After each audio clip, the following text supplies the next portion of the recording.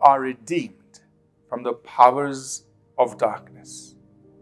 Colossians chapter 1, verses 13 and 14. He has delivered us from the power of darkness and conveyed us into the kingdom of the Son of His love, in whom we have redemption through His blood, the forgiveness of sins.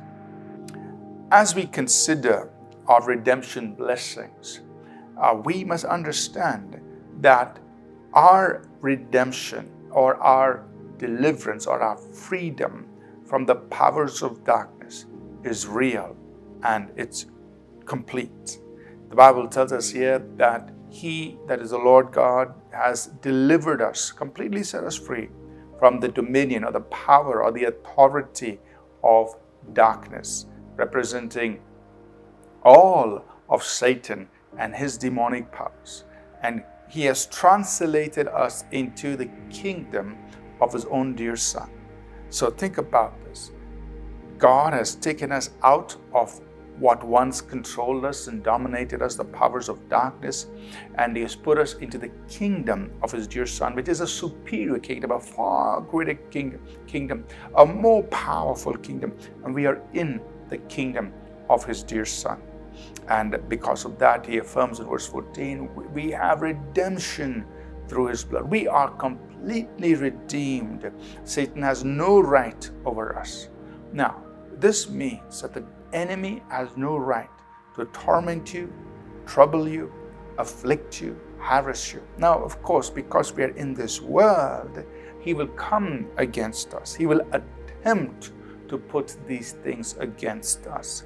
He will attempt to tempt us, uh, put afflictions on us, uh, bring all kinds of torments, and try to come against us with these things.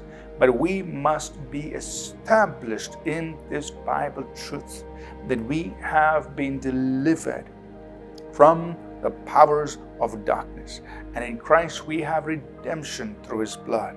The devil has no right to touch you, he has no claim over you, and he has no access to you. That's over. Now, he may attempt to do that. That's why he's known as the trespasser. He's the old serpent who tries to deceive us, who tries to trespass, who tries to accuse, who tries to intimidate. He tries to come against us with these things. But we have to stand firm in our redemption, saying, Jesus Christ has redeemed me. And so, devil, you have no right to come put these things on me, no right to torment me, no right to afflict me. I am redeemed. You stand on the ground of your redemption, which is a reality that God has made available to you in Jesus Christ. The powers of darkness have no right over you, no claim over you, no access to you. You are redeemed. Stand firm in that. Let's pray. Lord Jesus, we thank you that you have delivered us from the powers of darkness, that in you we have redemption that we are part of your kingdom, which is far greater and superior, and we stand firm in our redemption, and we announce to the devil and the powers of darkness they have no place in us, no right over us, no claim over us. We are redeemed in Jesus' name. Amen. Thank you for tuning in to Living Supernaturally.